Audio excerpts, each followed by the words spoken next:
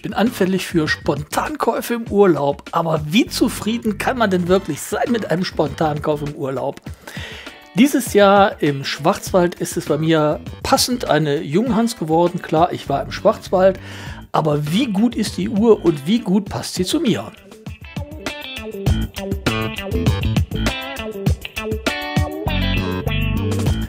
Hallo und willkommen bei Watch Maxes Uhrenvideos. Mein Name ist Axel und ich freue mich, dass du wieder reingeklickt hast.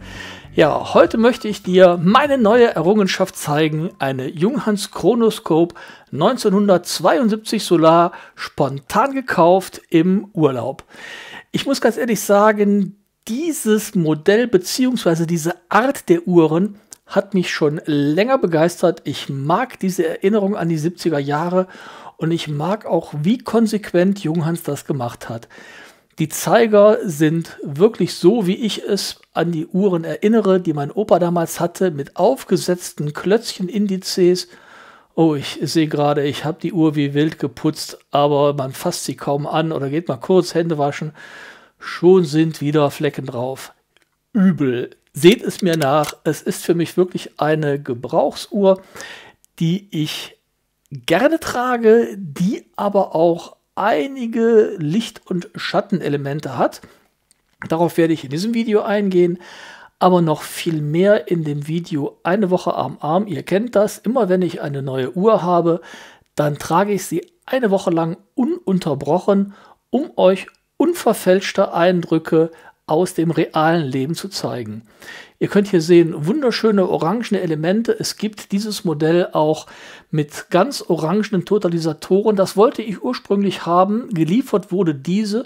Und ich muss ganz ehrlich sagen, mir gefällt diese Kombination dann in der Tat noch ein kleines bisschen besser als die mit den orangenen Totalisatoren. Das wäre mir dann doch etwas zu viel Farbe gewesen. Schauen wir uns mal die Maße an. Die Uhr hat einen Durchmesser von 43,3 mm, hat ein entspiegeltes Saphirglas auf der Vorderseite und hat einen Bandanstoß von 23 mm. Etwas unglücklich, immerhin gibt es schöne Leder- und Stahlbänder, die fantastisch zu der Uhr passen. Die Uhr ist angenehme 11,6 mm dick und hat einen handvermessenen Horn-zu-Horn-Abstand von 46 mm. Verbaut ist das Werk J62250 und die Uhr ist bis 200 Meter wasserdicht. Es ist ein Chronograph, wie ihr sehen könnt, und sie hat eine kleine Besonderheit. Es ist ein kleiner Hebel links neben der Krone, aber da gehe ich in dem Video noch separat drauf ein, denn auch das ist eine Sache, die ich so noch nicht bei anderen Uhren gesehen habe. Das hier montierte Band ist übrigens das Original Junghans Band. Qualitativ gibt es da sehr unterschiedliche Wahrnehmungen. Ich finde aber optisch passt es unglaublich gut zu der Uhr, weil es nochmal den orangenen Akzent unterstreicht ohne wirklich zu viel Farbe drauf zu packen. 1972, ihr wisst, die Olympiade in München. Junghans war dort offizieller Zeitnehmer. Ich habe sie echt wirklich sauber gemacht vorher, aber bei den polierten Flächen, kaum fasst man sie an, hat man wieder irgendwas drauf.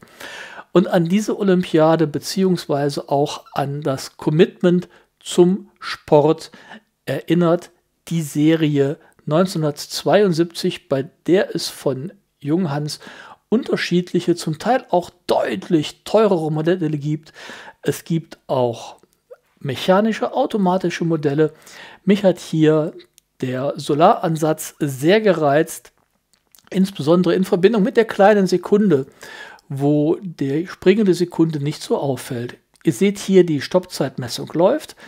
Der Chronograph kann messen bis 60 Minuten und dann ist auch aus. Dann läuft nichts weiter, es wird nichts weiter angezeigt. Danach ist Schluss. Das werde ich aber im eine Woche am Arm-Video noch mal etwas deutlicher zeigen. Übrigens ist das hier das erste Video, was ich veröffentliche, bei dem ich mit zwei Kameras gefilmt habe, aus zwei unterschiedlichen Blickwinkeln. Schreibt mir doch gerne in die Kommentare, ob euch das gefällt oder nicht. So, jetzt kommen wir zu dem kleinen Hebel. Ihr seht, da ist ein kleiner Hebel neben der Krone. Ich nehme mal ein kleines Stöckchen, um es besser zu zeigen. Jetzt ist er zu, das heißt zur Krone gedrückt. Ich drücke ihn weg und damit ist er geöffnet. Das ist eine Kronensperre. Die Krone selber ist nämlich nicht verschraubt. Und jetzt kann ich sie in zwei Rasterungen rausdrücken. Na, jetzt dreht sie sich, das ist ja klasse. Erste Rasterung, zweite Rasterung mit geöffneter Sperre. Nochmal. Erste und zweite Rasterung. Erste wie immer Datum, zweite Uhrzeit, ganz normal. Jetzt schließe ich die Sperre. Na, geht nicht, mit dem Finger nehmen, so. Jetzt ist die Sperre zu und ich kann immer noch eine Rasterung rausschieben, aber keine weitere mehr. Das heißt, mit der Sicherung der Krone kann ich zwar nach wie vor das Datum anpassen, aber ich kann nicht versehentlich die Zeit verstellen. Wenn ich jetzt die Sperre wieder öffne, klack, dann kann ich auch den letzten Position aktivieren und könnte jetzt die Zeit verstellen. Wo wir einmal dabei sind, dann verstellen wir doch die Zeit auch direkt einmal und schauen uns an, wie die Zeiger gesetzt sind. Übrigens, ähm, ja, das sieht hier nicht ideal aus, aber wenn man den Minutenzeiger anguckt, der ist auch knapp neben der 12. Das muss ich, glaube ich, nochmal korrigieren, denn so sieht es so aus, als wären die Zeiger nicht so gut gesetzt.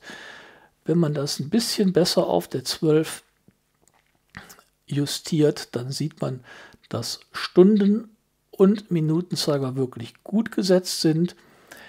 Der Stoppsekundenzeiger ist ein bisschen neben der 12. Das ist aber bei dieser Quarzuhr nicht weiter dramatisch, weil ich jeden Zeiger manuell neu ausrichten kann. Die Abweichung hier ist nicht so groß, dass sie mich wirklich stören würde. Insofern habe ich das nicht korrigiert. Es ließe sich aber korrigieren. Und das finde ich wirklich klasse bei dieser Uhr. Das hat auch nicht jede Quarzuhr. Insofern hier nochmal Super gemacht, finde ich prima. Jetzt habe ich euch schon eine Menge über die Uhr erzählt, aber wir wollen natürlich auch wissen, wie sie an meinem Arm aussieht. Dafür muss ich meine Mühle Rescue Timer ausziehen und werde die Junghans Chronoscope 1972 Solar an meinen Arm packen. Dank der kurzen Hornabstände von 43,3 mm passt sie gut an meinen Arm. Hier nochmal der direkte Vergleich zu der Mühle Rescue Timer, die ich auch später im Video noch einmal für einen Vergleich heranziehen möchte. Denn auch beim Stahlband, was ich euch gleich noch zeige, gibt es die ein oder andere Sache anzumerken. So. Das Band ist übrigens angenehm zu tragen, habt da gar keine Probleme mit. Und ihr seht natürlich, die Uhr ist groß und präsent, aber sie steht in keiner Weise unangenehm über, dank der kurzen Hörner. Und ich persönlich mag diese Optik echt gerne und finde die Uhr wirklich sehr, sehr angenehm zu tragen. Gefällt mir gut. Mir gefällt auch die Lochung des Lederbandes mit den orangenen Innenteilen ohne dass es direkt durchgeht, dass das komplette Band unten unterfüttert ist. Insgesamt macht es auf mich einen wirklich guten Eindruck, durchdachten Eindruck. Vielleicht würde hier auch noch ein Hirsch Performance Band ganz gut dran passen, aber ich glaube, das ist eine Uhr, bei der ich nicht geneigt bin, allzu viel mit Bändern zu spielen, weil sie mir einfach richtig gut gefällt, wie sie ist. Das ist das Stahlband zu der Uhr. Ein außergewöhnliches Stahlband, wie ich finde, weil zum einen die äußeren Glieder ein klein wenig abgeschrägt sind und zum Arm hin abfallen, wodurch das Band ein kleines bisschen einen, einen schildkrötartigen Charakter bekommt. Und zum anderen, weil die Glieder insgesamt extrem klein sind und dadurch sich die Uhr wirklich super genau und sehr, sehr fein einstellen lässt.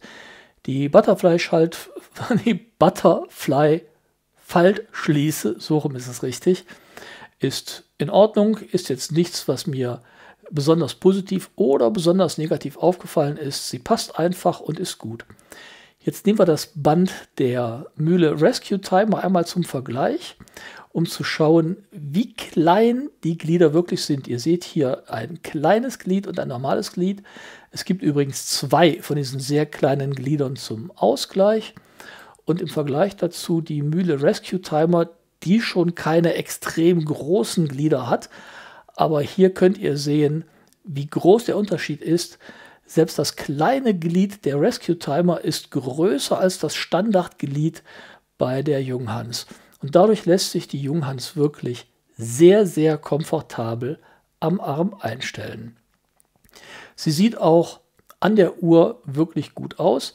Ich wechsle das jetzt nicht, ich halte es dran. Ich glaube, das reicht vollkommen, um einen guten Eindruck zu geben, wie dieses Band an der Uhr aussehen könnte und dadurch bekommt die Uhr nochmal einen extra gesonderten sportlichen Look.